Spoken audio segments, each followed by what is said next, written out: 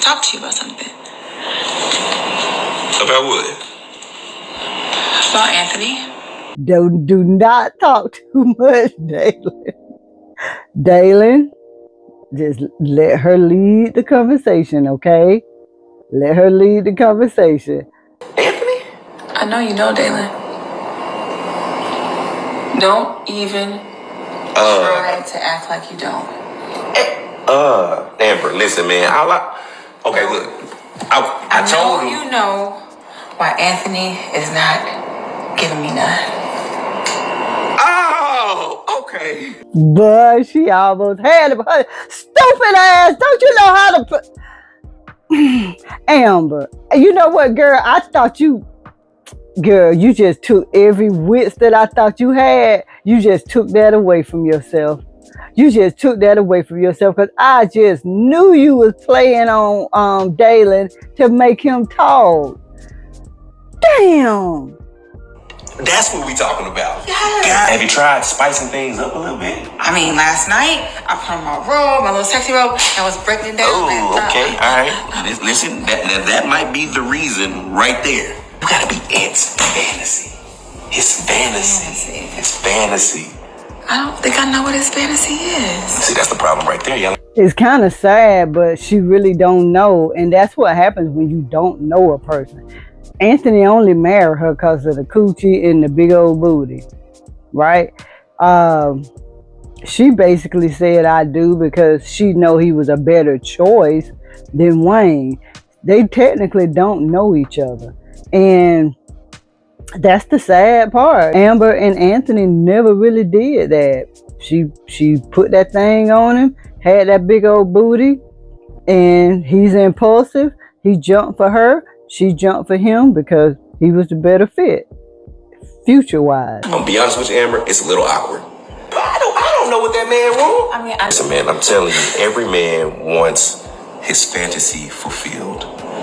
Like things can come become like real regular and real routine.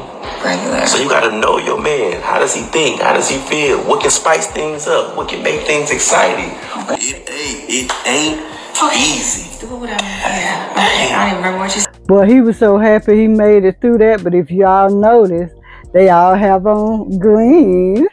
So let's look at the comments. Um, Lunel or Lumel three three says Dalen is ready to tell everything. He's gonna crack under pressure. he was ready because he really thought that she knew what was up. He thought, but again, like uh, Lunel and Lumel says, he he was ready. He's ready to tell it. D Lovely Day, I agree. D Lovely Day 430 says Dalen's face is already saying it all. And she didn't notice not one thing. She didn't notice, y'all. Why? Gavin 1275. Gavin 1275. Why is asking Anthony's best friend inappropriate? I've never had a guy that didn't ask my best friend things about me, especially when it came to gifting. Yeah.